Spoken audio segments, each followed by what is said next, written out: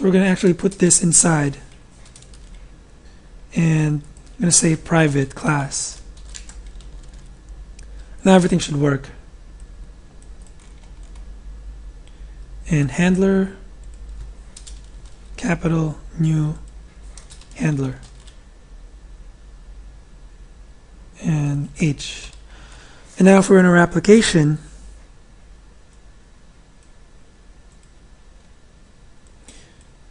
you can see it's still changing. We're still listening for the clicks.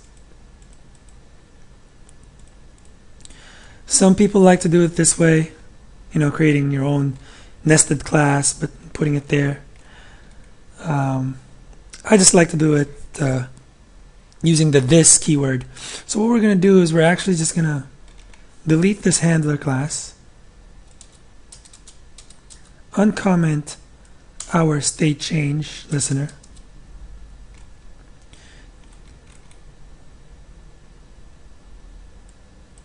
delete this line of code over here and add in this.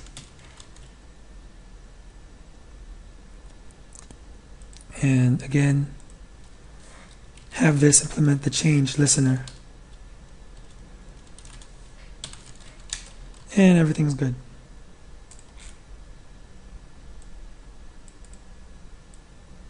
I'm getting an error here. I don't know why. Hold on.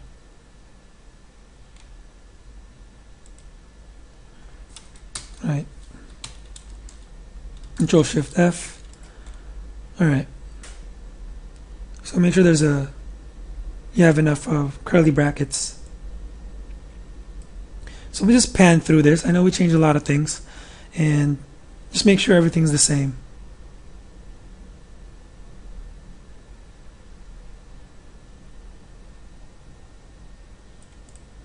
all right now let me show you the other way of doing this. And the other way is uh, actually a lot messier. So we say in here, instead of this, you can say new change listener.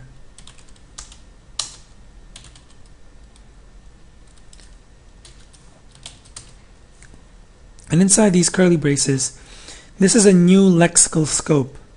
The lexical scope is different from the lexical scope out here.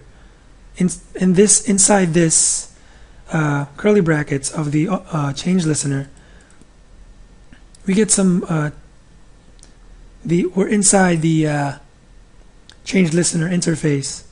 Let me actually show you. If we click out here in our library system and click uh, Alt Shift S let me just show you this. So in here, Alt Shift S, override implement methods. We see that the only uh, the only thing within our scope is uh, a library system object. But if we click inside this change listener, Alt Shift S, Eclipse will detect that we're in a new lexical scope and will give us the change listener interface. And so go ahead and click override and implement state change. Hit OK. And now Eclipse will add these lines of code for us. And now, um, yeah, we just copy and paste whatever we had here in our state changed.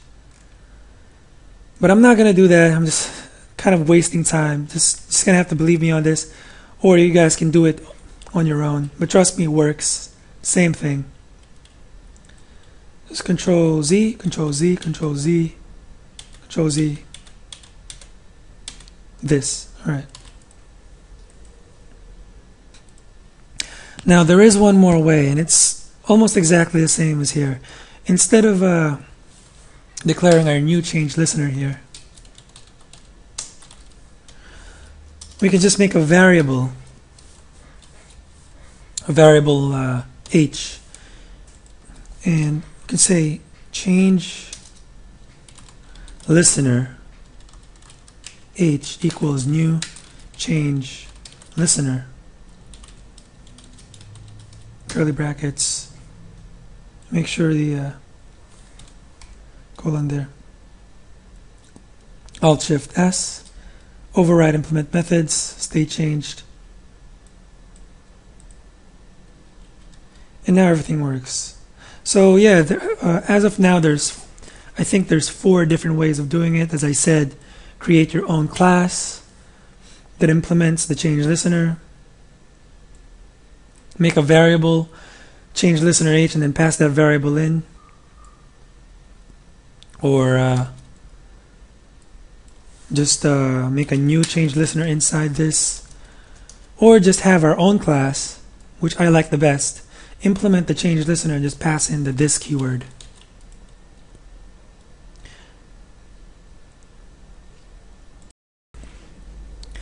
Alright, now we have to do the same thing that we did for the uh, tab pane. Remember when, uh, remember this? We, uh, we added a method inside our library interface, get tab pane. Well, uh, no, never mind. This is going to be a little different. So now we're implementing the action performed. And the style of the model view controller is you're injecting the controller so the controller is injecting itself into the view. So this is our controller, the library system, and we're going to inject itself, the library system, to our view so that so that uh, whatever is happening in the view, the our controller library system. Whenever I say controller, I'm referring to our library system our controller is uh, is knows everything that's going on inside the view. So what injecting means again is our controller is injecting itself into our library to our view. So our controller is injecting itself to the view. And by doing that our controller knows everything that's going on inside the view. And that's that's what this whole setup is. The library controller the uh, sorry the, the model view controller. And so it knows everything that's going on inside the view and it's going to use the model the data that we're manipulating controller is going to use the model to uh, in the background to in response to the controller is going to use the model and manipulate it in response to events in the view. So that's what this whole model view controller business is in a nutshell. So now that we, uh, as I said, we created the action performed uh, method in our library system, in our controller, we need to add this to our add book panel. We need to inject these uh, the action performed to our add book panel and browse library panel just like what we did here we uh, injected the uh, state change listener inside uh, the JTab pane which was inside our our library interface. But as you can see we have a lot of buttons inside our panel. We have five buttons inside our add book panel. And we're going to need to add the change the action listener action action listener to all five of them and we're going to do it in one line so uh, go on over and declare a private add book panel I'm going to call it ABP and a browse